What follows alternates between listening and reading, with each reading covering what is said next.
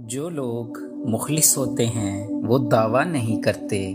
और जो लोग इखलास से खाली होते हैं, उनकी ज़ुबान पर दावे होते हैं। आरजी जज्बात पर मुस्तकिल फैसले नहीं करने चाहिए। आप सीखना चाहें तो आपकी हर गलती आपको एक सबक देती है। परेशानी हालात से नहीं, ख्यालात से पैदा होती है। जब दुआओं और कोशिशों से भी बात ना बने तो फैसला अल्लाह पर छोड़ दो। बेशक अल्लाह अपने बंदों के बारे में बेहतर फैसला करने वाला है। इल्म का कमाल ये है कि तुम पढ़ते पढ़ते उस मुकाम पर पहुँच जाओ कि बिल आखिर तुम्हें ये कहना पड़े कि मैं तो कुछ भी नहीं जानता। जो शख्स लोगों से किनारा कशी करता है, तू उससे मिल।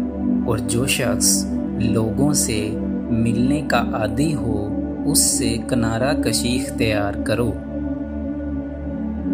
जो कुछ तुम करते हो, अल्लाह उससे पूरी तरह बाखबर है।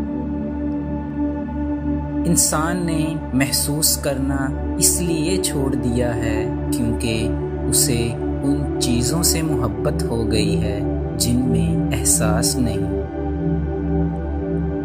जमहूरियत का कमाल ये है कि वो वोट की ताकत के ज़रिए भेड़ों को भेड़िए चुनने का मौका देती है।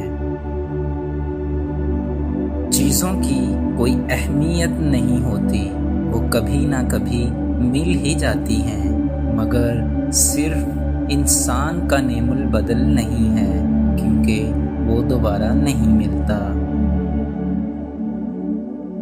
दोस्त, किताब, रास्ता और सोच, ये चार चीज़ें इंसान को गुमराह कर देती हैं।